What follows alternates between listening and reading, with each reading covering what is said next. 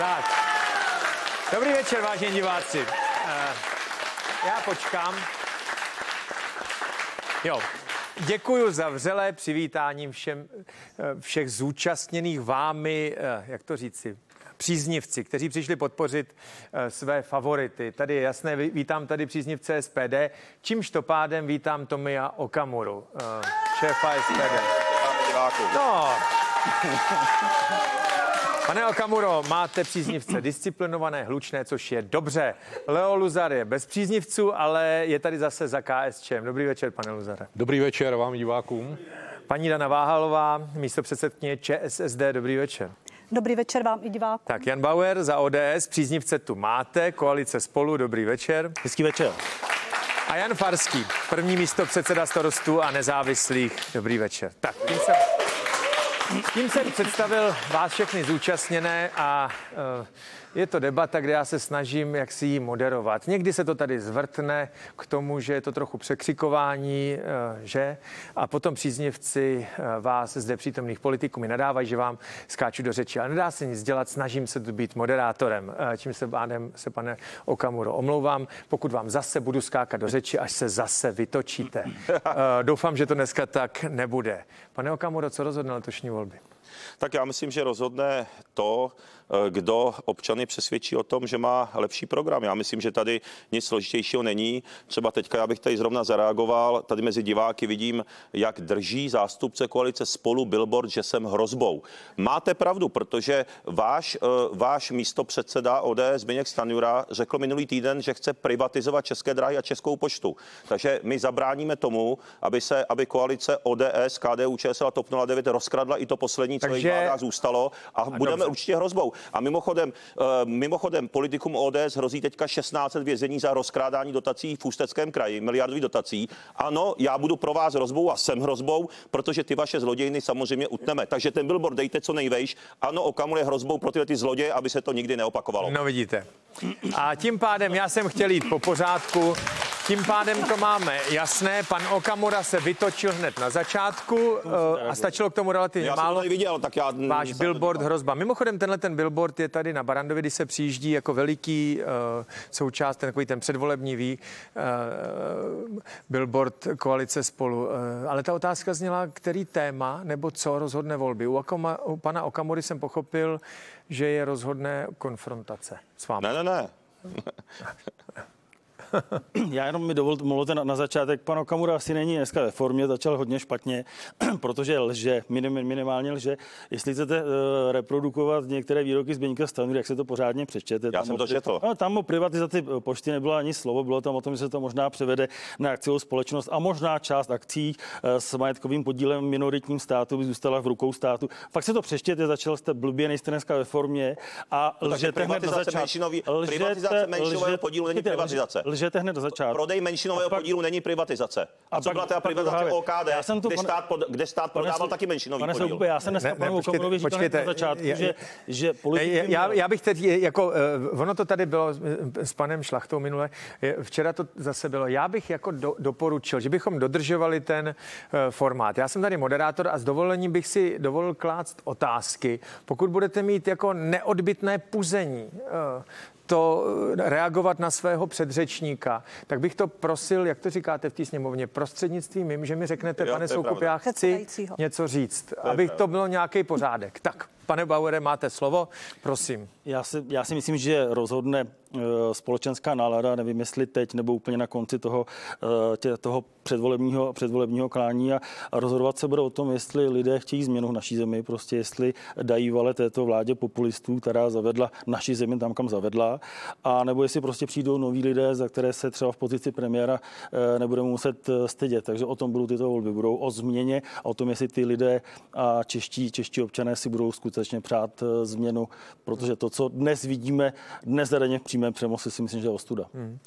Paní Váhalová, paní místo předsedkyně, téma, které má rozhodnout. Já eh, vlastně u ČSSD si nejsem jist. Těch návrhů a nápadů, který teď běhají každý den, už je, začíná být jako na můj vkus hodně, ať se to týká zdanění, ať se to týká přidávání platu ve státní správě. Zdá se, že teda rozhodnou sociální témata, tak? Já si myslím, že především rozhodne volič. určitě i emoce, jako u každých voleb. A byla bych strašně ráda, kdyby rozhodovali programy a rozhodoval výběr kandidátů z jednotlivých kandidátek tak, aby se do sněmovny dostali politici, kteří nebudou rozdělovat společnost, ale naopak budou jí smelovat a kteří budou hledat cesty, jak ven třeba z ekonomické krize a jak si a poradit s následky to téma, pandemie. protože ty programy, oni každý, eh, každá strana má pěkný volební program. Jo? Já když si dívám na webu jednotlivých stran, tak vlastně si říkám, no jo, ale snad, promiňte, pane, kromě toho, kromě KSČM mi přijde to celkem jako rozumný. U vás mi teda nepřijde úplně rozumný ty majetkový, majetkový daně, ale uh, přijde mi to docela dobře napsané. Ale už váš místo předseda, uh, pan Zaorálek říkal, my se, my se s tím píšeme a oni nám to nečtou. Já doufám, že lidé program čtou a že ho číst budou, alespoň ti, kteří chtějí mít informace a kteří se budou rozhodovat na základě programu a ne na základě rozhodne? třeba dezinformací anebo strachu. Který téma teda rozhodne z vašeho pohledu? Na něco Já... tu kampaň musíte mm. směřovat. Už máte čtyři týdny do voleb, není na co čekat. Já si myslím, že takové ty nejhlavnější témata budou právě to, jak zaručit, abychom se dostali z ekonomické krize, jak se zvetit a zvládnout to období po pandemii, hmm. jak zajistit lidem to, aby měli zdravotnictví na úrovni, na jaké jsou zvyklí, což se prokázalo to i v rámci pandemie. Každý. No je pravda, že to říká každý, ale ne každý to plní. A já teda, co mohu aspoň říct si za sociální demokracii, tak naše priority hmm. jsme se snažili vždycky prosazovat, a to i v menšinové vládě. A dokázali jsme přesvědčit i našeho koaličního partnera, aby je prosazoval s námi. Hmm. Pane Luzare, KSČM je v takové nezávidění hodné pozici. Za A. Ve všech dostupných průzkumech, které v posledních dnech vidíme, naposledy včera Median, eh, se společně s, eh, s ČSSD a možná s přísahou, eh, tak to bylo v tom Medianu, potýká s 5% hranicí. Vy už jste, vypadáte jako trošičku lépe u medianu, ale zase u některých uh, agentur trošičku hůře. Nemáte to jisté, uh, že, tam, že se tam dostanete. Na rozdíl od pana Okamury a na rozdíl od dvou koalic to jisté opravdu nemáte. Vy musíte trefit téma, které vaše bývalé voliče zaujme. Protože to, že potenciál ve svých bývalých eh, voličích máte, to je jako zřejmé. Tady budu parafrázovat klasické prohlášení, věřím pouze těm průzkumům, které si udělám sám. A z druhé strany rozhodne občan. A dneska občan je v nejistotě, obrovské nejistotě, co bude dál. Šance na nový začátek, což je náš volební program, právě nabízí občanům ty jistoty, o které mají strach, to znamená práci, bydlení, jistotu zdravotní péče a nejenom to neustále, čím dneska žijí, to znamená zdražování, obava o své pracovní místa, o to, že všechno zdražuje enormním tempem a dneska mladí manželé, když jsou bydlet, je to obrovský problém. Myslíte Staří, si, že by to vláda jako mají... zařídila, jo, kdybyste tam byli, že by to bydlení bylo levnější, že by nebylo samozřejmě, a tohleto? Samozřejmě, protože náš projekt v bydlení vrátit neziskový sektor, neziskové bydlení jako takové, to znamená družstevní, obecní, ale nepostavené na zisku, začít státem masivně investovat do bytové výstavby. To je to řešení, které tady může být. Že se stát podporuje bytovou výstavbu, ale podporuje jakou bytovou výstavbu? Bytovou výstavbu enormně drahých bytů. Všichni chcou na nich vydělat. Hmm. A tady my nabízíme opravdu návrat k tomu to, to... družstevnímu, aby si lidé sami postavili ze státní podporou své bydlení, aby nesloužilo k no. spekulacím, aby tady nebyly ty byty, které jsou jako investiční a které zdeformovaly absolutně systém bydlení v no. České republice. Dobře, pane místo předsedo, no první místo předsedo, chtějí lidi změnu.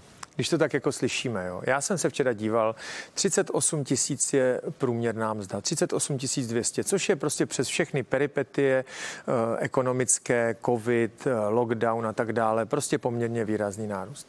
Eh, většina vládních stran navrhuje, že do několika málo let by důchod měl přesáhnout 20 tisíc, teď je přes 16 tisíc. Ve veřejné sféře se má přidávat a přidávat. Upřímně řečeno, mě vlastně nenapadá, proč běžný občan, který je soustředěn na sebe, svoji rodinu a na své živobytí, by vlastně chtěl změnu. Já vím provokuju. Ono, ve, chvíli, kdy, ve chvíli, kdy bude inflace desetiprocentní, tak ta průměrná mzda poroste ještě rychleji a důchody porostou ještě rychleji. Ale budou lidé bohatnout? Podívejte se no dneska tak... kolem sebe, jak se všechno brutálně zdražuje. To nejsou ty 3% inflace, o které se říká, ale kdokoliv má cokoliv společného se stavebnictvím, tak vidí, jak o stovky procent stouply OSB desky, eh, různé eh, zateplovací systémy. Můžu ale jenom poznámku, já nechci skákat do řeči, jenom takovou poznámku, než na to zapomenu. Já uh, jsem viděl na internetu v Dolních Měcholupech, což je tady kousíček od Prahy, nebo součást Prahy, byt 4 plus 1 za 16 milionů. Mně to přišlo úplně. A to je přesně jako... ono, jako ve chvíli, kdy rostou ceny takto brutálně rychle, tak je pak otázkou, jak, jestli vůbec ten růst může to vyrovnat. A zatím nevyrovnává. Lidé v tuto chvíli prokazatelně chudnou, protože přichází o své úspory, za které si nemůžou, po, nemůžou pořídit to, co chtěli. A je to jenom výsledek práce této vlády, toho plundrování ekonomiky. A daří se vám to vysvětlovat, že Poučíme. na retoriku vládních stran, tedy hnutí ANO a samozřejmě ČSSD, že se zvyšují mzdy, zvyšují se příjmy, ať už jsou to mzdy, ať už jsou to důchody, ať už jsou to jiné složky mest, tak současně daří se vám vysvětlovat, že právě toto zvyšování možná také, ne možná, ale určitě vede k růstu cen, které zase to nominální zvyšování vyrovnává. Ono to kopíruje, ale ta podstata je, že se prostě snižuje koupě schopnost obyvatelstva. Ty ceny rostou hrozným způsobem. I tady se o to pokusím, když mě dá v té chvíli slovo. Hmm. Prostě je situace ta, že vláda docela zmatečným způsobem se zadlužila brutálně, zadlužila nás všechny. 500 miliard schodek najednou už není problém. Příští rok, který ani vláda neplánuje, že by byla nějaká covidová krize, má být schodek 390 miliard korun, ale to nejsou peníze, které se jen tak zjeví z nebe. To jsou peníze, které vytahají občanům z kapes. A ještě je zúročí přitom. A přirozeně, když do té ekonomiky přilijete obrovská kvanta peněz, tak podpoříte inflaci. A co je inflace? Prostě to je zdražování a to je likvidace úspor lidí. A to tato vláda, aby si koupila dobrý výsledek za měsíc ve volbách, prostě udělala. A bude to hmm. dělat dál a dělá to celý čtyři roky. Takže tato země v tuhle chvíli prostě na to dobíhá už ekonomicky, protože to není schopný, není schopný na ta společnost a e, služby a práce, produktivita prostě ukočírovat. Je splundrovaná lidsky, to vidíte v tom, že nám prostě vládnou lidi, kteří vydávají, když podvádějí a očůrávají a obcházejí pravidla, takže to vydávají za něco jako za cestu k úspěchu. No to je přeci neštěstí, který likviduje. Čapí, a je čapím to... hnízdě, nebo? Obecně, teď vidíte, jakým způsobem dodržují naši vládní představitelé pravidla, která sama nastavují, když už je teda znají alespoň. Ale oni ani neznají to, co schválí, aby 10 milionů občanů dělalo, tak oni sami nenosí roušky v místech, kde musí nosit roušky, sami nedodržují pravidla v tom. Teď mluvíte o Karlovarském filmovém festivalu. do zavřených restaurací, mluvím o Primulovi, mluvím o panu premiérovi, který řekl, že prostě byl v místnosti sice s nakaženou osobou, ale stropy byly vysoké. Ale no. to je to, co destruuje. A ve chvíli, kdy máme nejvyšší představitele státu, kteří postavili svůj úspěch a biznis na tom, že ohýbají pravidla a podvádí, tak co čekáte od občanů? A to je ta destrukce, na kterou budeme doplácet ještě opravdu dlouho. A třetí, co tato vláda prostě ničí a plundruje, je životní prostředí. Podívejte, jakým způsobem se tady likviduje půda, to nejcennější, co tady prostě máme. To je něco zoufalého a to je potřeba zastavit. A já věřím, že i přes tu krátkodobost toho, že dneska vláda lidem přidává, tváří se, jak vlastně jim pomáhá, tak lidé uvidí, že sice jim dá stovku, ale když se prostě všechno zdraží o desítky procent, tak prostě o tu stovku přijdou několikrát hmm. a ve finále chudnou. A to je Dobře. to, co je potřeba. Můžeme se držet teď tématu, ale velmi krátce, jenom principiálně po povrchu. Důležitost či nedůležitost schodku státního rozpočtu, pane Okamora. Mně totiž, pane Okamora, mně totiž přijde, že před uh, deseti, jedenácti lety, když se hovořilo o tom, že musíme zabránit řecké cestě, Jo, to znamená zadlužování státu, předlužení státu, aby na dluh se kryly běžné výdaje státu. Tak to bylo velké, velký strašák. Lidé se opravdu obávali toho, že předlužení státu bude znamenat přímý dopad na životní úroveň, na kvalitu života, na příjmy, na výši důchodu, či dokonce na vyplácení důchodů eh, nebo, nebo jiných dávek, eh, že na to stát prostě nebude mít. A obávali se toho. Dnes je ta situace jiná. Ty schodky státního rozpočtu, celkové zadlužení státu je úplně jinde, než bylo před těmi 10-11 lety, ale úplně jinde. Možná vonulu jinde. A lidé to tak jako nevnímají. Lidé to nevnímají jako bezprostřední hrozbu. Možná uh, si říkají, ano, ono se to spraví, teď byl covid, uh, bude to dobrý, ale upřímně řečeno, nad tímhle tím je velký otazník, jestli to dobrý bude nebo ne. Tak skutečně je problémem, že ta covidová problematika uh, zastínila fakt, že se postupně dostáváme skutečně na uh, hranu té ekonomické propasti, protože my máme druhé nejvyšší tempo zadlužování v Evropě. A skutečně, jestli to takto půjde dál, tak během několika málo let narazíme už na takzvanou dluhovou brzdu.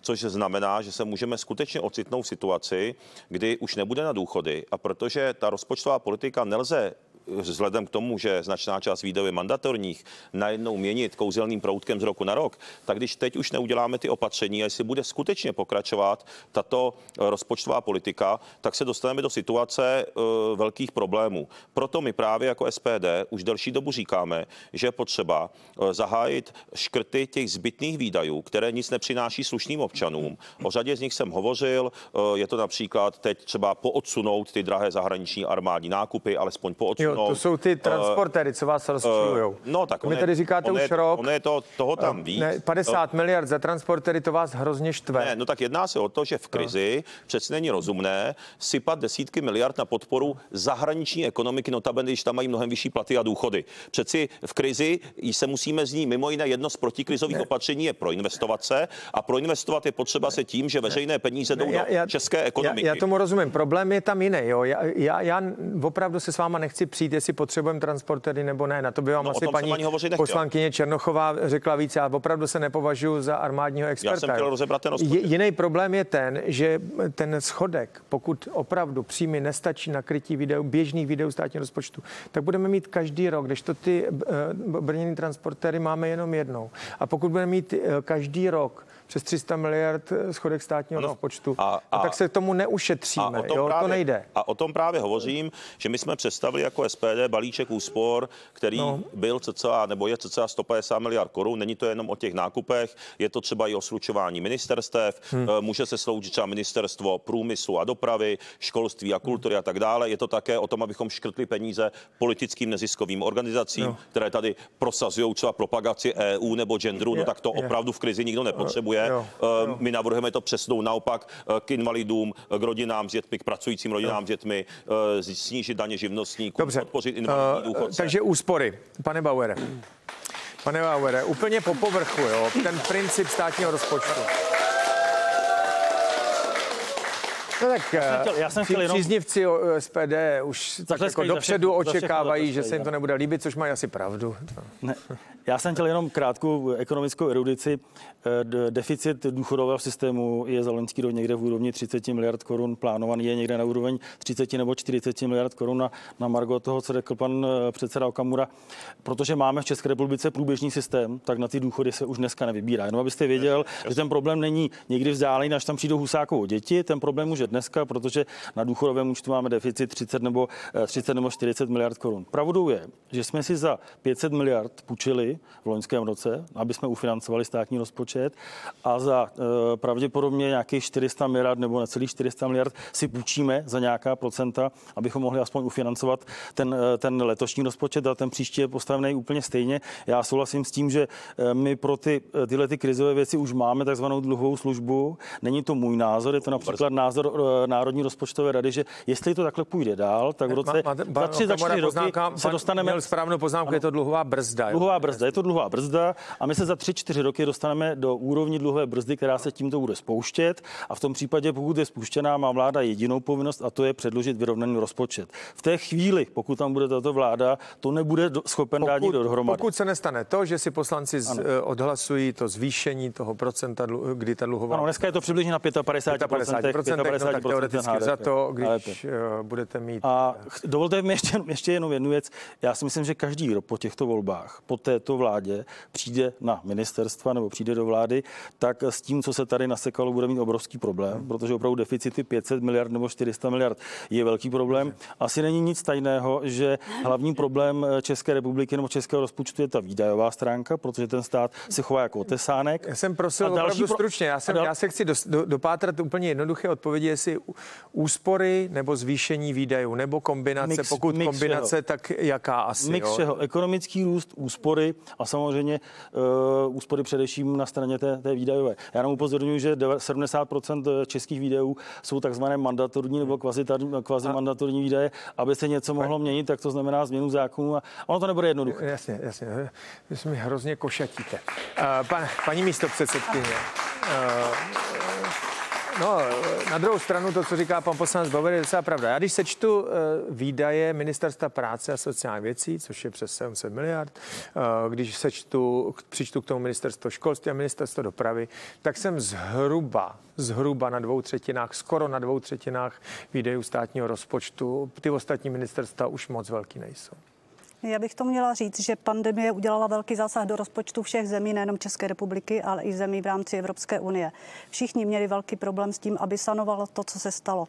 Byl ochromen průmysl, nevybírali se daně, bylo potřeba sanovat eh, zisky nebo zisky. Sanovat to, aby přežili jak zaměstnavatele, tak zaměstnanci v celé řadě firem byly zvýšené náklady na zdravotnictví i na sociální služby. Já si myslím, že to je jedna z věcí, která přivedla nás i k tomuto deficitnímu rozpočtu. Jedna z věcí, těch věcí je samozřejmě víc. A souhlasím s tím, že bude potřeba mix na to, abychom sanovali ten rozpočet, abychom ho nějakým způsobem jako nastavili. mix výdajů a příjmů, to znamená snížení ano, na straně ale nemůžeme se, Ale nemůžeme daní. se dívat jenom na výdaje, ale také na příjmy. No. A já, když tady hovoří kolegové, tak mě strašně zaráží to, že uh, hledají úspory někde tam 10, tam 20, tam 30 miliard, ale úplně klidně zrušili superhrubou mzdu a udělali zásek do rozpočtu 120 miliard. A to nikomu jako nevadilo, že to bude chybět. A každý rok. To je docela zvláštní. Dobře, uh, pane Luzare, úplně stejné téma. Uh, tady poslouchám slova a jako bych byl v jiné sněmovně ještě před půl rokem, tři čtvrtě rokem, kdy sněmovna schovalovala tento deficit, těch půl bilionu korun, které byly plánovány. Ne. Vašimi hlasy, vašimi a hlasy. ptám ne, se, ptám se, ale tady kolegové, já vaši ne... kolegové ze starostů si... a nezávislých a z koalice spolu to jako ne... Já si nepamatuji, to, já si nepamatuji, že když se to půl bilionu rozpouštělo, no.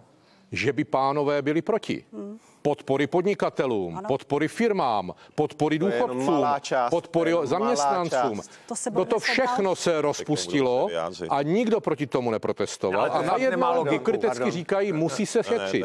Pokrytecky říkají, ale neříkají, kde by se mělo šetřit, protože těmto lidem ty peníze přišly a já jsem rád, že je dostali, no. protože být jediní, kteří prostě nepomůžou těm lidem, když přišel covid, když se uzavřela společnost, by bylo asi v Evropě špatné a obecně lidsky špatné. Ale, ale, Druhá věc, jo, jak z toho ven. My komunisté požadujeme sedmiletý plán obnovy. Sedmiletý plán finanční obnovy. Sedmiletý, protože máme ekonomickou realitu a vnímáme situaci, která v této zemi je a jak je schopen státní rozpočet být naplňován. Proto chceme po vládě, již teďka, po této vládě, aktuální, ne po té budoucí, sedmiletý plán. To byla tak jedna z důvodů, proč jsme se s hnutím ano částečně nepohodli v této záležitosti. Další věc, jak to řešit na příjmové oblasti, protože všichni chcou šetřit. Hmm. Co to mimo jiné znamená? tak pánové chcou propustit asi 40 tisíc úředníků. Když je jich 66 13%. Je třeba Leo číst dobře ty programy. 13%. Když sečtu každý, kde chcete jedna každý se, propustit a když se dáte dohromady, tak nakonec to vyjde, že tady zrušíte stát jako takový.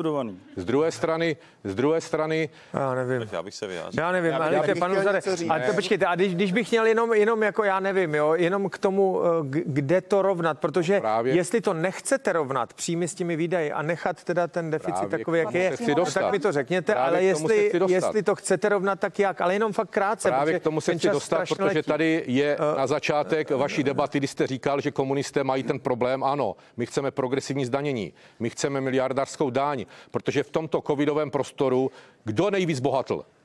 Kdo nejvíc bohatl? Bohatí. Bohatí. Protože a to, národní je... koncerny, no, tak farmaceutické firmy, Lejte, ale tady ty obrovské progres... prostředky šly nahoru a stát, stát tady tahá za kratší ne, konec. Ne, fakt. Měli by nyní, když stát podporoval tyto podnikatele, umožnil jim přežít, dával jim dotace, teď, teď tak by měl od nich očekávat solidaritu teďka s těmito lidmi s těma a měl by dostat tyto Dobře, já zpátky, to, aby mohl fungovat. A teď, prosím, pánové, velmi krátce. Pan Bauer, pan, pan Farský, pan Okamura vtipnou glosu za komunistů. Já jsem to zažil bohužel do 20 let se říkalo, závěry páté pětiletky stihneme, kdyby měla trvat 7 let. Takže vy se v podstatě vracíte, tím, ten, ten kruh se uzavřel, takže to bude teď trvat 7 let. Ano, v těch letkách, to... když se plánovalo, ano, ano, ano, to chybí, to je... protože v současné době se plánuje na 4 roky. Jak zase ne, každý zvolený ne, ne, politik ne, do židle, tak všechno poslibuje. Za 4 roky počítá, že si pánové nahrabou, odnesou to v puštíkách a se děje, co se děje. Já bych rád, aby se plánovalo i trošku do dopředu ale a hledalo počkejte, se taky ale nebudou. slovo má pan Bauer, opravdu, to, slovo má pan Bauer. Tohle se takhle nedá uřídit potom. ne, já jsem chtěl jenom, jenom k těm rozpočtům. Prosím vás, eh, rozpočty loňský, předloňský. Mám za to, že v roce 2018 podpořila i SPD státní rozpočet, vy to asi máte v hlavě lépe než já. Nicméně ty deficity obrovský si tady schvalovala koalice současná vládní s podporou komunistické strany, takže ta otázka měla směřovat především na ně. Já musím teda říct, že za ODS teď, eh, pokaždé, pokud jsme navrhovali nějaké přesuny v rámci toho rozpočtu, co si schválila ty mantinely, tak eh, to doprovázelo prostě úsporama na nějaké, eh, na, na, té, na, té, na té výdajové stránce. A Leo, když, se, když, jsme, když jsme svedli ruku pro zrušení superhrubé mzdy. Spolu ze SPD samozřejmě ano, mimo jiné, což je vlajková loď občanské demokratické strany asi ve třech volbách. Asi by se těžko divil, kdybych já nezvedl ruku po zrušení, zrušení superhrubé mzdy. Tak jsme přinesli 80 miliardový seznam všech úspor, které by paní ministrině financí měla, měla uspořit. Takže to nebylo jenom plácnutí do větru. A kde Takže jsou ty miliardy? Jako, kde po mě jako po mě jako po členovi ODS nechtějte, abych nehlasoval pro zrušení superhrubé mzdy. My jsme žádné daně nesnižovali. My jsme pouze lidem víc míň sebrali. Takhle prostě dobře, funguje dobře. super, super hrubá mzda. Pane, pane Luzare, pane Luzare, prosím vás, eh, já, já jenom, eh, že to slovo bych měl udělovat já. Eh, pane Farský, k tomu poznámka, jo. Já já nevím, mě ta debata o ty zrušení superhrubý mzdy, mně to teda přišlo zbytečný, se přiznám, jo. Faktem je to, že ta daň nebyla 15%, ale 19%. Na druhou stranu eh, KSČM a ČSSD říká, no dobře, tak zvedneme daně, no. Tak vlastně oni to jako vrátěj tím, že se to eh, jako zvedne, ta daň. Takhle to aspoň chápu, jo. A byste chtěl reagovat na ano. Eh, expoze uh, pana Luzara, to se vám nedivím. My jsme v tuto chvíli zrušení superhrubé mzdy nechtěli podpořit a nepodpořili, protože v tuto chvíli jsme ho nepovažovali za úplně správné. Stalo se, musíme se s tím vyrovnat a my se s tím umíme vyrovnat. My jsme představili minulý týden plán, který znamená, že za čtyři roky se můžeme dostat k vyrovnanému rozpočtu. To je k tomu, co by asi každá rodina chtěla být. Pře představa toho, že si každý rok půjčuju, prohloubuju svůj dluh a padám se do situace, kdy budu předávat svým dětem jako bankrotující rodinný rozpočet. Kdo z nás to by udělal doma, tak pro boha nedělejme to jako politici. Když jste, pane Luzare, mluvil o tom, když jste mluvil o tom, že, se to, že to by ten schodek byl motivován tím, aby se dalo podnikatelům, aby se zachránili, Nejvyšší kontrolní úřad konstatoval, že jen zlomek, méně než polovina těch financí byly použity na covidová opatření. A jak mi tak. pak vysvětlíte to, že příští rok má být schodek 390 miliard, když už covid, na příští rok s ním vláda v rozpočtu nepočítá s jeho dopady. Není to pravda to, co říkáte. Prostě jedete tady nějaké rozpočtové perpetuum mobile, kdy myslíte, že se bude do nekonečna utrácet. Před volbama lidem hážete peníze, kterým ale po volbách vezmete i s úrokama z kapes. Už tak. dneska ty vaše dopady jsou ty, to brutální zdražování. Držme a to, se trošku věcnej. To, že, to, že se zvládla covidová pandemie ekonomicky, no nezvládla jsme pátá nejpostiženější ekonomika na světě. A proto jste a čtvrtý, pandemický zákon a největší, největší počet mrtvých Dobře, na světě no. v České republice. Pane, a nejdelší dobu měl, jsme měli zavřený školy. Pojďme. Ta vláda to prostě vůbec Pojďme. nezvládla. Čas strašně letí. Dobře. Pane Okamuro, krátce, prosím, práce k, paní, k panu Luzarovi. Jak to mám takovou jako poznámku? Když jsem měl ministrině Šilerovou, tak mi říkala, že ta, uh, že ta podpora byla 500 miliard. Já jsem říkala, v čem jako byla 500 miliard? A ona říkala, eh, naopak, řekněte mi, pane Soukupe, co se vám v tom seznamu nelíbí. Jo. Já jsem říkal, mně se nelíbí jako součást seznamu uh, věcí, které směřovaly na podnikání, na podporu podnikatelů v covidu, nákup těch předražovaných pomůcek. A ona říkala, že jo, že to tam patří, panč ty pomůcky eh, teda používali lidi, aby mohli pracovat a tím to jako je. Takhle nějak mě přijdou ty statistiky té pomoci. No. Takový trošku slepení dohromady. Tak já bych tedy zareagoval nejprve na tu superhrubou mzdu. Já jsem pišný a hrdý na to, že díky hlasům SPD se zrušila superhrubá mzda. My jsme to měli v programu, protože zdanění práce v České republice je no. druhé nejvyšší v Evropě po Francii. To znamená, naopak, SPD má v programu, že podporuje... Prosím vám, neskákejte mi pořád do řeči. Jo, jako, takže uh, takže my v SPD máme jasné heslo, že slušný a pracující člověk je na prvním ano. místě. To znamená, a zároveň, jo. moment, tak mi neskákejte zpráva pořád do řeči. Uh, takže a zároveň my říkáme i to B. Zároveň prošel návrh SPD, už ten zákon platí. Je to zákon, pozměňovací návrh poslankyně Šafránkové z SPD. Zvýšili jsme o 6 tisíc ročně uh, přídavek na děti po pracující rodiny. Uh, zároveň jsme navrhli i různé úspory. Jo. Například leží nám tam zákon na ukončí zneužívání dávek nepřizpůsobivými půl miliardy bychom ušetřili. Zároveň, eh, zároveň SPD pochopitelně navrhuje, abychom škrtli... Já jsem říkal stručně. Dobře, to je eh, seznam vašich eh, programových priorit. Já poprosím... Já prosím, poprosím režii o první otázku. Víte, tenhle ten pořad, my máme za sebou půl hodiny a ještě jsme se nedostali od prvního tématu, který jsem nadhodil. Tak já bych přeskočil k jinému tématu. Já jsem sepsal asi 35 uh, různých věcí z oblasti ekonomiky, politiky, společenského života a tak, kterými režisér tady tak jako různě v, v pořadech dává. Teď ten první. Měly by být znovu zavedeny poplatky u lékaře za pobyt v nemocnici, pane, pane místo předsedo? Nic takového v programu nemáme, tedy ne. Hmm. My to programu také nemáme, jenom jako pamětí mohu říci, že ty politické náklady s tím, když jsme se pokusili něco ze zdravotnictvím udělat, tak ty jsme, ty jsme si nesli a neseme si je možná, eh, možná dodnes. My jsme určitý pokus, eh, pokus udělali, ale v, ve volebním programu eh, to nemáme, jak o tom neuvažujeme. Paní místo předsedkyně svého času, to bylo jedno z legendárních vítězství sociální demokracie, kdy jste s heslem Stop poplatku zválcovali krajské volby. Jo. Já teda do dnešního dne nevím, proč vlastně to téma, které, o kterém se mluvilo roku, roky, bylo takovou, takovou rozbuškou v těch krajských volbách a nevím zrovna, proč v krajských volbách, ale bylo to jako vaše téma, takže předpokládám, takže že... předpokládáte správně, že určitě ne a jsem, já naopak zase od pana Okamury jsem hrdá na to, že sociální demokracie byla u toho, aby poplatky ve zdravotnictví nebyly, že byla u toho, aby se zachovala páteřní síť veřejných nemocnic a že bude u toho vždy, aby se neprivatizovaly nemocnice a aby jsme měli nemocnice pro občany hmm. a dostupné. Bezplatné zdravotnictví, to je náš dlouhodobý program, my ho prosazujeme a doufáme, že se nám podaří uhájit ty zbytky systému zdravotního, který tady funguje, kdy každý občan České republiky má právo na zdravotní péči a nejenom ti bohatí, kteří si mohou Takže zaplatit. poplatky ne. A bohužel všichni ti, kteří přijdou k lékaři, mi dají za pravdu, že už dneska je běžné u zubaře, že platíte tisíc korun jenom za to, že vás objedná. Hmm. A bohužel se to stává. To mně se teda naštěstí nestalo, ale věřím vám, že se to někde stává. Uh, pane Okamuro, tak, poplatky. To je luxusní klinika pro bohatý, pokud ne, chodíš. Město Kopřivnice, lékař zubní a chodí tam normální lidé, potom nikde jinde zubař já není. Vás, pa, pa, já vás varuju, jo. Já jsem říkal, že tady po, po, ty otázky mám dávat já. Já to mě jako varuju vás jako v dobrým, ale tak jenom přece, protože pan Luzard, když dostane jakoukoliv otázku, tak ji využije k poměrně dlouhý řeči. Tak. No. Eh, pane Okamuro. Tak, uh, hnutí, já vůbec nevím, proč mě tady paní poslankyně nebo paní kolegyně z ČSSD motá do nějaké privatizace. Eh, hnutí SPD je proti poplatkům ve zdravotnictví. My chceme, aby stát garantoval dostupnou zdravotní péči. Problémem jsou, eh, problémem je například ta stomatologická péče, protože dneska starší lidé nebo lidé z nižší třídy, z nižší střední třídy nemají na to, aby ani měli nové zuby. My SPD chceme systémově, pak, když bychom byli ve vládě, zpřístupnit právě tu základní zdravotní péči všem slušným občanům, včetně zubařské péče. Hmm. Mimochodem ten velký problém je i v pohraničí. Hmm. Já kandiduji jako lídr za Moravskoslezský kraj, je tam velká nedostupnost lékařů, takže stát by měl opět. Bohu, A ty poplatky ne, ano nebo ne? Já řeknu, je, je potřeba finančně motivovat i lékaře, aby, se, aby měli zájem ordinovat pohraničí. A poplatky jsem říkal, že ne. Jsem to říkal na úvod. Jasně? My jsme proti poplatkům. Další otázka. Poprosím režii o další otázku. Měli by mít zaměstnanci právo na pět týdnů dovolené? Opět ode mě. Eh, opět v programu takové nemáme. Dneska už je to praxe mnoha zaměstnavatelů, dávají to jako bonus a dí, i díky tomu, jak máme nízkou nezaměstnanost, tak prostě i toto je jedna z věcí, které na dohodě zaměstnavatele a zaměstnance se děje.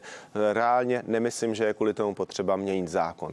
Tak já přeskočím panu Okamarovi, aby to nebylo hmm. a potom na pana poslance a tak to uděláme na přeskáčku. Tak dovolené. SPD souhlasí s zavedením pěti týdnů dovolené, ovšem zároveň ruku v ruce s tím musí také odpuštění těch povinných pladeb firem za zaměstnance za ten daný týden navíc, protože způsobí to více náklady firmám, hlavně v menších firmách. Jako sociální způsobí... zdravotní pojištění ano, a daň z příjmu ano, je, za je ten... potřeba zároveň ulevit těm no. zaměstnavatelům, to je naše podmínka, protože ono to způsobí hlavně v malých firmách, to způsobí i nedostatek pracovníků. A dneska máte málo pracovníků na trhu, je relativně nízká nezaměstnanost, to znamená ten výpadek té pracovní síly. Já jsem o tom mluvil v mnoha firmách, sám eh, celý život podnikám. To znamená, je potřeba ruku v ruce to taky těm zaměstnavatelům kompenzovat, aby jsme ty firmy udrželi v chodu, abychom udrželi zaměstnanost a zároveň, aby i lidé si mohli více Dobře, počinout. tak uh, ano, ale odpustit to. Dobře, pane poslanče, pětinu dovolené. Ale pane Soukupe, teď budete milé překvapen, jak budu krátký a výstižný. Eh, Pět týdnů dovolené je fajn, ale ne, eh, ne povinně, jak to zavádí komunistická strana, ale, ale, ale dobrovolně. Prostě bez rozdílu, jestli si to nějaká firma může nebo nemůže dovolit, zavádět povinně pět týdnů dovolené. Mně přišlo blbě, blbý, blbý nápad, když se s tím přišli před dvěma lety a mně to přišle, přijde ještě o to hloupější, když se tady půlka republiky a všichni pod- podnikatelé prostě horko těžko zpamatovávají eh, z toho covidového dopadu a vy přijdete s tímto nápadem, který už v podstatě ve mnoha firmách jako dneska je, oni to mají jako benefit a vy jim to chcete udělat povinně. Ať si firma s ohledem na to, v jaké ekonomické situaci se nachází, rozhodne, za tento benefit využívá nebo ne. Mnoho firm takových je, ale dělat to povinně mi přijde, že je neférové. Pane Luzare, pět týdnů dovolené, ano nebo ne? Samozřejmě ano, je to náš dlouhodobý program a projekt. Mně přijde úsměvné, že stejné argumenty zaznívaly, když se zaváděl čtyřtýdenní dovolená, třídenní. A stejné argumenty zaznívaly, jak je to strašné, jak to bude hrozné, jak se to bude zneužívat, co z toho všechno bude. Dneska jsme o tom jako standard čtyři týdny bez problému a bojíme, bojíme se o těch pět týdnů. Ale proč se toho bojíme? Co pak si ti lidi nezaslouží? Tady se hovoří jenom o jaké budou mít ztráty firmy. Ale co ti lidé? Co ti lidé, kteří pracují a zaslouží si Co ty firmy, co si tady ten dovolit? No tak jako týden navíc. Nebo to chcete nebude, říct, že ne? ale co a z druhé firmy- strany tady jsem slyšel, že všichni říkají ano a přesto tento zákon skončil v třetím čtení právě pro obstruce těchto stran, které tady Nás jsou ne. a říkají, že pět týdnů by vlastně i chtěli, ale vlastně ani moc nechtějí, protože pro to ruku nezvedne. Ne, ne, to je ne, ten základní teď, problém. teď ještě nemluvila paní místo předsedkyně a pak... Přesně tak, už jsem se chtěla ozvat, že jste na mě zapomněl. Ne, vůbec ne, jenom ono jak jdeme na klik, eh, Jasně. cik-cak, tak Nebojte, já si to hlídám. Doufejme, že to téma nepřestalo diváky bavit, ale myslím si, že ne. Já si myslím, že ano. A jsem strašně ráda za ty osvícené zaměstnavatele, kteří už umožňují zaměstnancům pětitýdenní dovolenou, protože ví, že zaměstnanec, pokud je spokojený, tak nefluktuje, že pracuje. A že má, Dobře. že má zajištěnou Tak- tak- pracovní sílu, o které vy říkáte, že let kde chybí. Tak Já jsem technickou... jenom technickou na, práce. na, na kolegu Leo Luzar, jo, tenhle ten zákon, který opravdu není dobrý v současné době, se dostal do druhého čtení ne proto, že by byl geniálně dobrý. Ten je proto, že jste si prostě slíbili eh, s hnutím ano, kde převládá názor, že to je hloupý názor, že budete podporovat za to vládu. Prostě taková je realita. To není o té, o té osvícenosti toho vašeho návrhu. To je o tom, že jste udělali před handlu. volbama to Takhle to všichni, co, takhle to Dobře. všichni, co v té sněmovně jsou. A že podporujete pět týdnů dovolené, když jste byli proti tomu.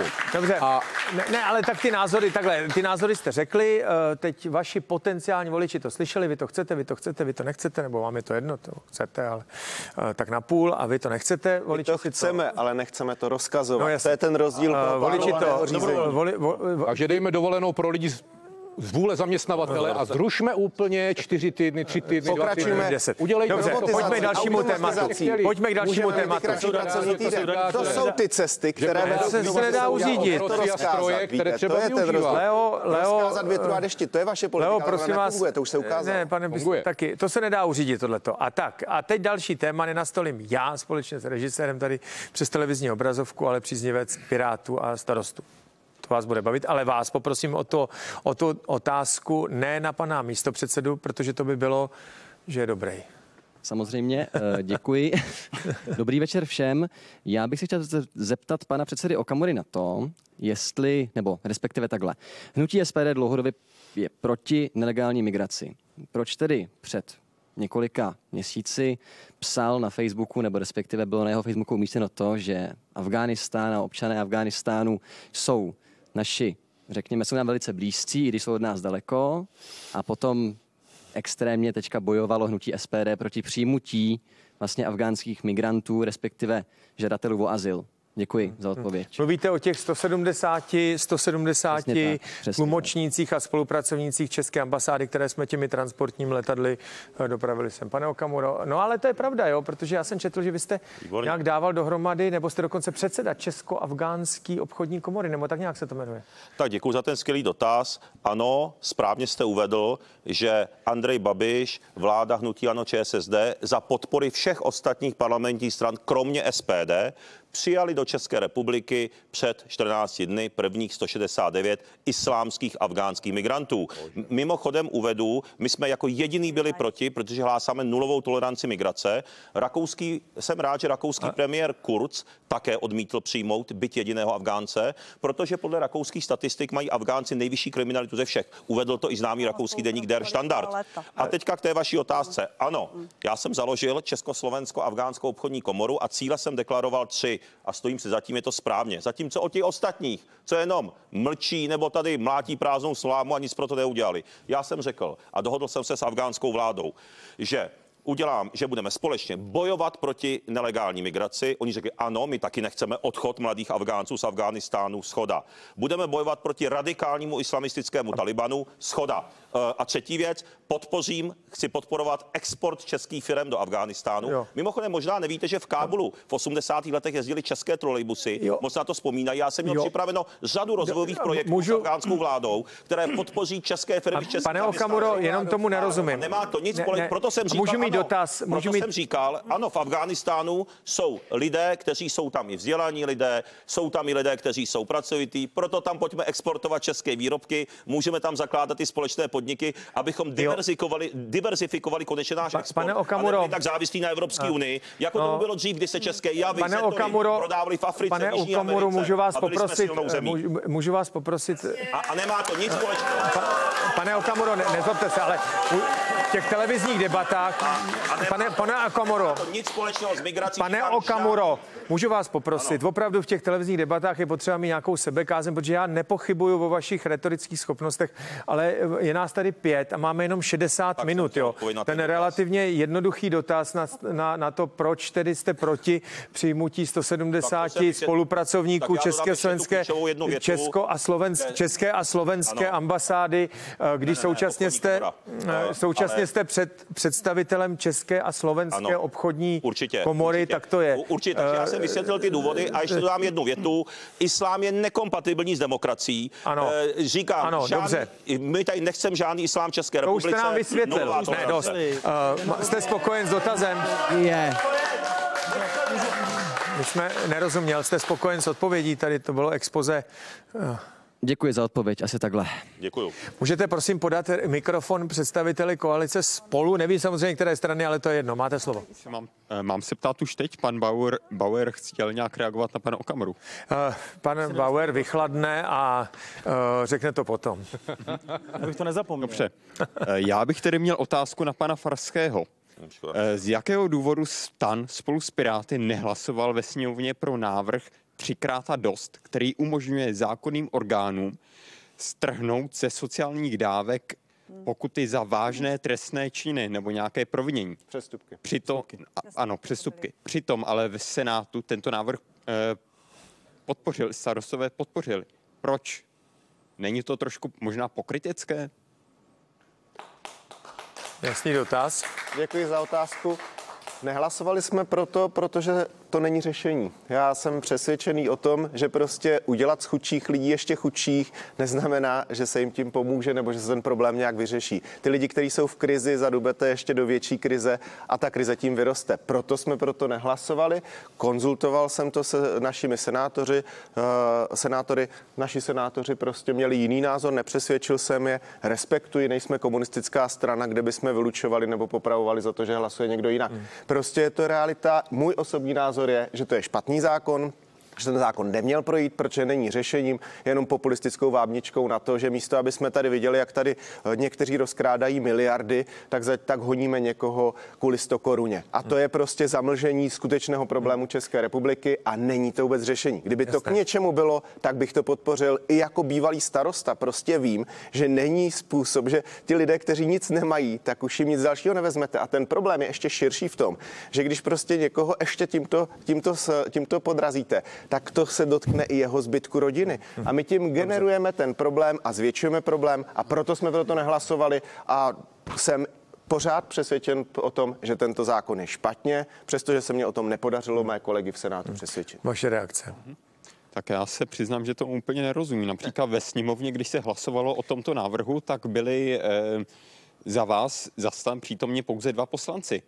Proč jste teda tam nebyli ve větším množství, aby se tomuto návrhu zabránili? Proč se, ne, proč se nezabránili prosazení toho, toho návrhu? Tak jistě rozumím. víte, že se počítají jenom eh, ty plusové hlasy a prostě stejně hlasů dost bylo na to, aby to prošlo, takže kdyby nás tam bylo 50, tak ten zákon stejně prošel. Dobře. Protože byl vůlí. A vy, vy jste chtěl po, poznámku, pan, pan poslanec Bauer a půjdeme k dalším otázkám. Já jsem chtěl zareagovat, protože nositelem a první na pásce eh, toho návrhu zákona krátké novely třikrát jsem já. Dokonce chci, abyste jenom viděli, že se nehádáme, poděkovat zástupcům SPD nebo i komunistické strany, protože to byl zákon, který teda mimo, mimo, eh, mimo Pirátů nebo stanu eh, prošel většinově v poslanecké sněmovně. Myslím si, že vzhledem k tomu nic nedělání vlády v rámci boje proti těm, kteří zneužívají sociální dávky, to bude jediná věc, která projde touto sněmovnou, pokud nedojde teda ještě na to, co připravuje s ostatními kolegyně, kolegyně Šafránková. Takže já jsem rád, že to prošlo.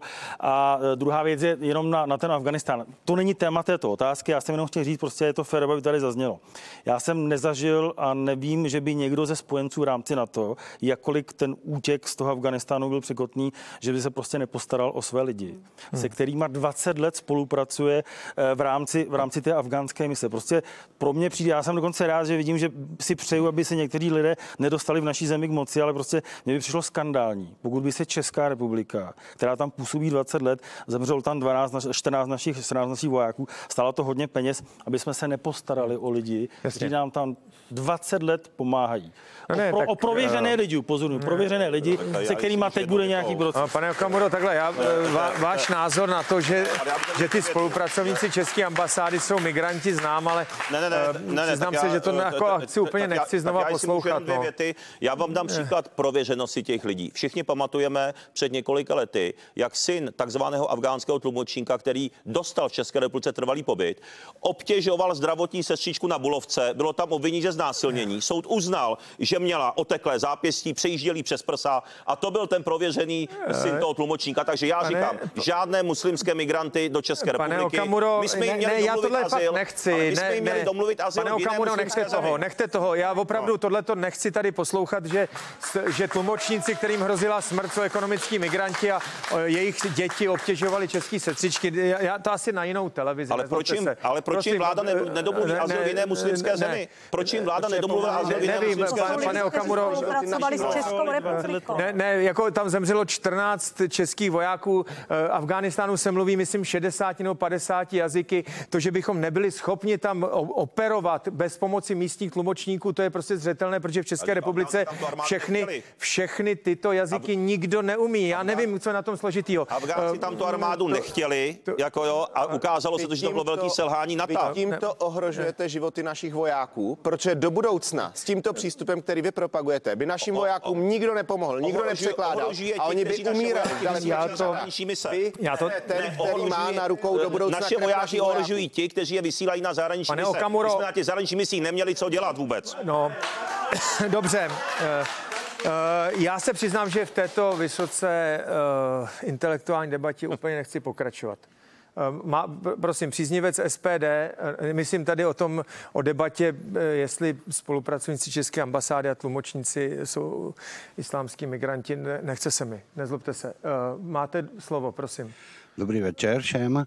Eh, já uplatím tak trochu otázku pirátům nebo starostům, už nevím ani, kteří jste tam vzadu, předpokládám, že podle věku spíš piráti. Eh, chtěl jsem se pana Farského zeptat. A to byla eh, invektiva, nebo co to bylo? Já, já jsem vám dal slovo proto, abyste da, řekl svůj názor, případně zde přítomným, zde přítomným politikům položil Položím otázku. otázku. Se, ale napadat tady vaše, vaše uh, kolegy z jiných stran Dobrá. je nefér, protože oni na to nemůžou reagovat, protože já jim slovo stejně nedám. No, Musím pan Farský je zastupuje, takže se zeptám. No. Pane Farský, cítíte se dneska být s Pirátem nebo starostou? Stačí krátká odpověď a druhá druhá otázka. Už jste sám někdy viděl třetí pohlaví? Uh, já děkuji. Otázka dobrá.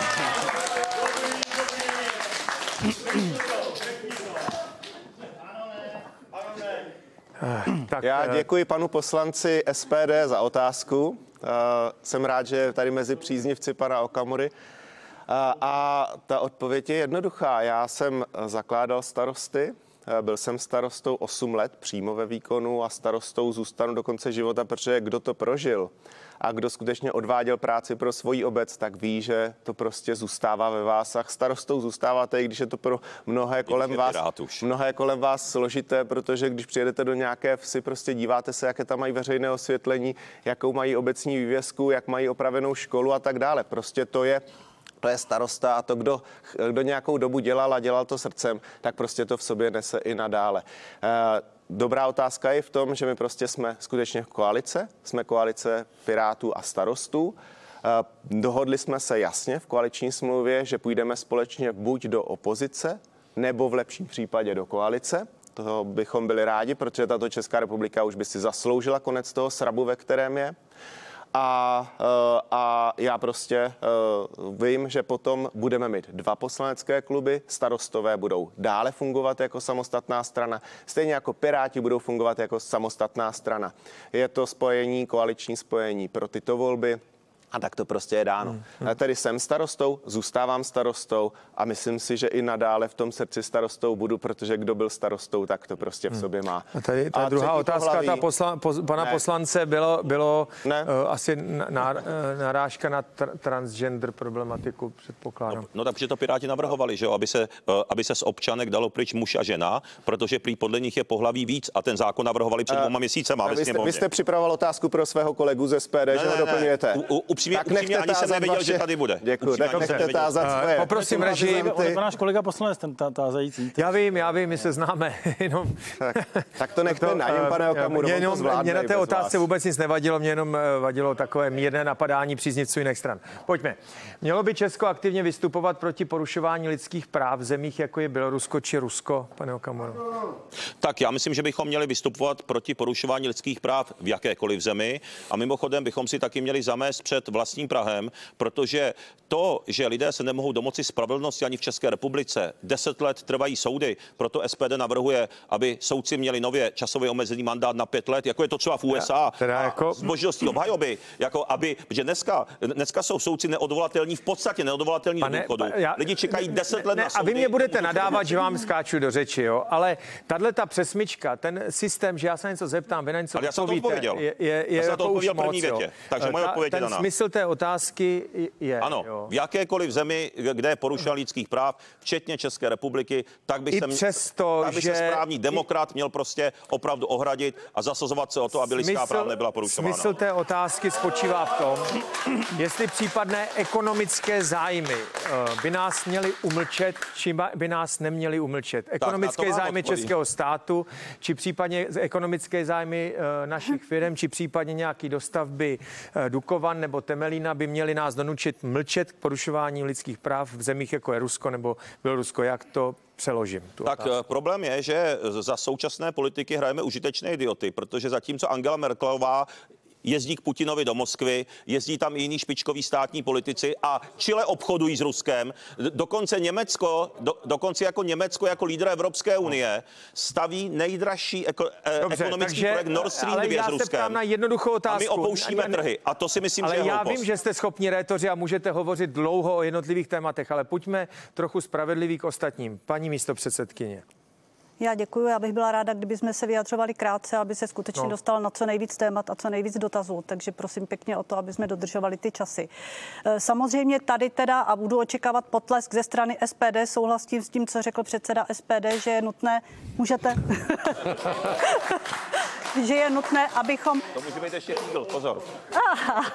abychom udržovali nebo abychom uh, aktivně vystupovali a postupovali proti jakékoliv zemi, kde se porušují lidská práva. Takže s tím naprosto souhlasím. No víte, na ten uh, kolega z ODS nebo z koalice spolu měl správnou poznámku, že někteří účastníci mluví hodně.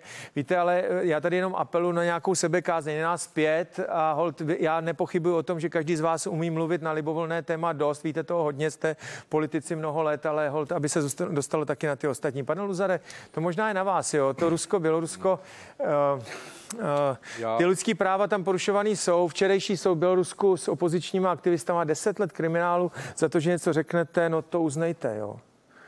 Nevíli někdo kudy kam, svede to na komunisty. To už jsem si zvyklý po 32 letech. Chci zdůraznit, že ani v Bělorusku, ani v Rusku nejsou komunisté u moci. No právě. Jsou to čistokrevné kapitalistické státy, které prosazují biznis, prosazují model, No, Máte pravdu, který že, že v. Rusku ty komunisti nevládnou, to ne. No. Samozřejmě, a jsou tam v menšině a mnohdy v opozici. Stejně jak v Bělorusku mají problémy s fungováním jako takovým. Čili jsou to čistokrevné kapitalistické státy, kamarádi tady tohoto systému, v kterém také žijeme, ale pouze z toho pohledu, že možná se na ten svět dívají trošku jinak, ze svého pohledu svých zájmů, tak se dostají do nepřátelství vůči nám.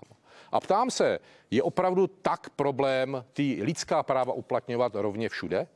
Je opravdu takový problém poukazovat i na porušování lidských práv v jiných státech, kteří jsou naši kamarádi, kteří nám pomáhají, Ne, ne, ale a nebo já, je, ne, selektivně ne, to je jako chápu, jo. práva pouze v Bělorusku a, v Rusku. A, a znova, tak, tak dobře. se ptám. Na tu ekonomiku, to jsem říkal panu Akamorovi, vy, vy, vy mi na to jasně neodpovíte, protože budete říkat, že je potřeba mít nejvýhodnější nabídky, třeba na ty Dukovany a tak. Samozřejmě. Ale považujete jako za normální, že třeba uh, z olympijských her sportovkyni pošlou proto, že si dovolila v televizi kritizovat uh, trenéra uh, běloruský výpravy, nebo že 10 a 11 let kriminálu dostanou lidi, kteří prostě řeknou, uh, řeknou slovo, slovo o způsobu vládnutí Bělorusku. Je to jako normální? Vůbec nebudu omlouvat systém vládnutí v Bělorusku. Z druhé strany se podíváte na tu olympiádu. První vyjádření asi 10 minut potom, co to probilo tiskem, bylo vyjádření kolegy, sportovce, eh, na tu, která se vrátila zpátky, který u oficiální, později přebíranou mainstreamem A, vo, a ona musela ta Popřel? sportovkyně požádat o, o azyl na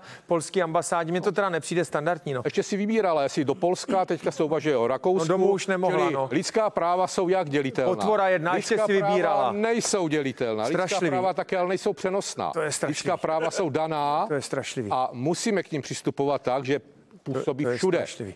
A ne Eh, pane selektivně poslanče, to to je mezi Běloruskem a eh, Ruskem a strašlivý. ostatními státy. To si řekněme. Pane poslanče. Ne, já vím, že komunisté tady toho napáchali hodně, ale když se podívám na tu otázku, tak tam o komunismu není vůbec nic, tak nevím, proč do toho pan kolega jako plete komunismus. Ale eh, když, pokud se někdo podívá na náš volební program Koalice spolu, tak tam prostě v zahraniční politice mimo jiné uvidíte prostě zmínku o tom, že se chceme navrátit nebo oživit tradici prostě Havlovo zahraniční politiky a, a dodržování a upozorňování na země, kde eh, se nedodr- nedodrží lidský práva a prostě platí to bez výjimky i na Bělorusko a Rusko a není to jenom o těchto dvou, Izrael? o, o těchto, ale já říkám, není to jenom o těchto dvou státech. Já tady souhlasím dokonce s danou, eh, s danou eh, Váhalou. Já eh, jako starosta bývalý Vrhadic eh, vím, jak to v tom Bělorusku vypadá, protože tam máme partnerské město a, a prostě eh, pokud tu situaci znám a vidím ji, tak nevidím jediný důvod, proč bych neměl na, na elementární porušování lidských práv eh, pana Lukašenka neupozorňovat. Prostě Hmm. to moje Pane místo povinnost. Myslím, že uh, je to, to, to, co říkal pan poslanec, je prostě tak, jo, je to principiální věc, jestli máme vyho, vy- vyměnit vlastní pohodlí za, a, a, za případné riziko nějakých ekonomických nesnází nebo něco podobného v No, zemích, likvida- jako je Rusko nebo Bělorusko. za likvidaci životů v těch státech, protože ve chvíli, kdy je budeme to nadřazovat naše ty ekonomické zájmy lidským právům, tak přirozeně ta lidská práva půjdou na druhou kolej a ono to, co se stane u nich, se prostě může začít šířit k nám. Takže z jednoho jednoznačně uh, souhlasím s tím a odpověď je jednoduchá. Ano, Česko by mělo aktivně vystupovat proti porušování lidských práv ve světě. Další otázku a poslední. Politiku Izraele, které uplatňuje na okupovaných územích a naši politiku vůči Izraeli. Měli by Češi mít právo To volit nedá elektronicky? loser, ale prostě A- do řeči, ale no. Ano, To je docela důležitá a co by věc. měli úplně první dostat a ve sněmovně leží ten návrh, tam jsme podali a prostě je zablokovaný, je prostě jednoduchá korespondenční volba, kterou má absolutní většina evropských států, je bezpečná zdravotně, bezpečná z hlediska toho prokazování výsledku a i takovýto malý pokrok prostě současná vládní koalice zablokovala, protože jim nevyhovuje v tom, že to zpravidla nejsou jejich voliči, alespoň si to myslí. A my tady upíráme několika stům tisíc lidí voličské volební právo a to je prostě špatně. Takže měli bychom začít předně korespondenční volbou a elektronickou. Já bych poodsunul, protože to její zabezpečení je fakt složit, složité, ale korespondenční volba by měla být hned. Pane poslanče, tak ono to je, uh, digitalizujeme, všechno je moderní, čipy v občanských průkazech a tak dále a tak dále. Je pravda, že ty volby teda vypadají pořád stejně, v podstatě zhruba pořád stejně jako před sto lety. Snad pouze, pouze to sčítání se trochu vylepšilo, že tam nějaký pokrok je, že se to nesváží někde a nepřepočítává, že se to dá dělat trošičku rychleji, ale v zásadě, když srovnám způsob voleb před sto lety a teď, tak to velký rozdíl není. Já jsem byl tohle volební období členem OBS, takže jsem mnoho těch voleb, jak fyzicky probíhají, opravdu měl možnost vidět a možná by jsme byli všichni překvapeni, v jakých podmínkách se konají volby, i dokonce prostě ve vyspělých zemích a myslím si, že na tom u nás špatně nejsme. nejsme. Já eh, vím, že prostě úplně ve všem se s kolegou nemusíme, nemusíme shodnout. Můj osobní názor je, že elektronická nebo korespondenční volba obecně ne, my s tím nesouhlasíme. Hmm. Eh, my jsme to podporovali pouze pro ty, kteří žijí v zahraničí a mohli se prostě eh, těch voleb, těch voleb účastnit. Je to z logických věcí, prostě když je někdo v Kanadě a nemá možnost se dostat do Otavy nebo tam, kde je zastupitelský úřad, tak prostě to volební právo je mu upíráno, takže v tomto případě ano, s tím já problém nemám. Eh, mám obavy z obecných eh, korespondenční nebo elektronických voleb kvůli hmm. zabezpečení. Ostatně eh, ty volby v Americe nás něčem poučily. Hmm. Pane Komora. Tak uh... Pozitivně myslíte, pane kolego. tak si nenaskakujte na, tak, na dezinformátorů. Tak teď nevím, jestli já jsem dostal slovo, prostě... nebo... Eh, no tak to tady musí, budeme muset, pane, to je pořádku, v televizi. My tady máme jaký, tady máme to paralelní debata, tak já bych se teda... Ne, to je pouze ve studiu, jo, pánové si trochu povídají, ale on je no, režisér, on jim režisér vypnul... si povídají, ale nikdo neslyší. Ne, on jim, on jim režisér vypnul zvuk, takže... Jo, dobře. Tak si povídejte dál. Taky necháme povídat tak pane Okamuro, no dobře. Tak, ale mě to trošku ruší, jo. Takže já bych se pánové, dobře, tak, tak, tak, já, tak já bych se rád vyjádřil. Takže hnutí SPD v této fázi nesouhlasí s elektronickými volbami. Ostatně viděli jsme před pár měsíci, jak proběhlo sčítání lidu, kdy hned první dny vypadl systém Českého statistického úřadu, tak jak chceme dělat elektronické volby, když ani v současné době nejsme schopni zajistit sčítání lidu elektronicky, kdy ten systém vypadl, to víme všichni. Díky, Takže ne. A, a co se týče a co se týče korespondenční voleb, také my jsme zásadně proti. Ukázali to například poslední prezidentské volby v Rakousku, které se muselo opakovat druhé, druhé kolo, byly tam určité problémy. Spojené státy kdy prostě dodnes řada občanů je tam znejistěna tím, zdali to proběhlo demokraticky. Takže korespondenční volby ne, občané v zahraničí mohou hlasovat eh, na zastupitelských úřadech či na ambasády, konzuláty, takže dnes už tam určitá možnost je, ale není to o tom neumožnit všem hlasovat. My chceme umožnit všem hlasovat, ale u nás je to o tom, že nemůžeme připustit to spochybňování těch voleb, protože tam není to zabezpečení garantováno a o tom to je, že si začnou spochybňovat volby, tak to opravdu tady. Dobře, jo, takže ne prostě velký problém. Pane Luzare.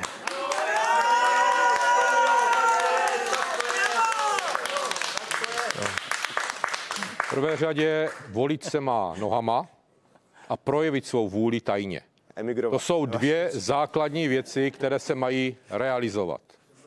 A jestliže chceme zachovat tuto demokracii voleb, tak musí zůstat zachována i klasická konzervativní metoda jít k volbám. Znamená Já nesouhlasím ne. s elektronickými metodami z jednoho prostého důvodu. Dneska se podívejte na Facebook, kdo vás má nabouraný účet, kolik eh, messengerů chodí různě, no, kolik se mě, vydává mě teda za ten, promiňte, mě ten Facebook a my jednou... se bojíme a zcela oprávněně toho, že to bude zneužito. No, no mě ten Facebook jednou nabourali, jo, ale ukázalo se, že... Chceme, aby ty lidé cítili vážnost k těm volbám ano, a byli si vědomi svých výsledků. Já, já jenom jsem chtěl poznamenat... Opravdu pěšky těm volbám a ano, se má nohama. Ano, já jsem jenom chtěl poznamenat, že ne, ne, nejsem expert na zabezpečení počítačových systémů, předpokládám, že by to nějak šlo. Jednou mi teda nabourali Facebook, ale ukázalo, že se, se že heslo soukup 1, 2, 3, 4 nebylo dobré.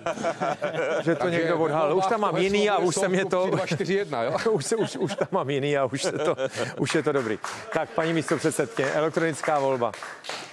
V době pandemie jsme zjistili, že spousta věcí lze dělat online a že se bude používat i do budoucna i v řadě firm.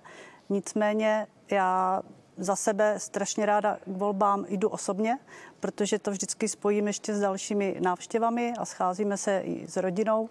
Sjedou se i děti, které úplně nebydlí doma a dojíždí. Vy se jako sjíždíte kvůli volbám? Je svátek rodina, demokracie. Jako I, svátek. I je to svátek demokracie svým způsobem. Nevím, proč se smějete, je to, je to pravda. svátek demokracie, já jsem se ne... Ale, a tak no, já tam ano. většinou jdu z práce, no. Ale já ještě navážu, dovedu si představit, v čase i elektronickou volbu, protože na řadě míst to určitě může být řešení, jak se přiblížit a jak odvolit, když bydlím někde hodně daleko nebo jsem mimo území České republiky a je to skutečně hmm. problém dojet třeba nebo dojít na, to, na ten zastupitelský on ten smysl, úřad. On ten smysl Ale určitě, otázky je, určitě... že, on ten smysl otázky, paní místo předsedkyně, v zásadě je v tom, že ta volební účast u mnoha voleb je opravdu nízká. Jestli opravdu tu volební účast nepodpořit, třeba u senátní voleb, když se hmm. opravdu volební účast po, pohybuje v některých doplňovacích volbách pod 10%, hmm. tak je samozřejmě... Já fakt nevím, jestli to přinese zvýšení volební účasti. Hmm. Jako není to tak, úplně je. jisté, ale já mám trošku obavy z toho zabezpečení a z toho, aby skutečně to bylo zabezpečeno tak, aby nedocházelo, nebo nebyla nějaká nedůvěra vůči tomu, že může dojít k nějakému zneužití. Hmm. Takže tak. v případě, že budeme mít zajištěný ten systém tak, aby to bylo garantováno, aby jsme si byli jistí, že jsme na to skutečně připraveni, i systémově. Tak Dobře, proč? dámo a pánové, už přesluhujeme čtyři minuty. Já vám děkuji za to, že jste do této debaty přišli a že jste, zúčast, že jste se jí zúčastnili, věnovali tomu pozornost a uh, prokázali možná při hlasitých projevech některých, některých příznivců vašich stran určitou odolnost. Děkuji vám. Děkujeme. Děkujeme. Děkujeme.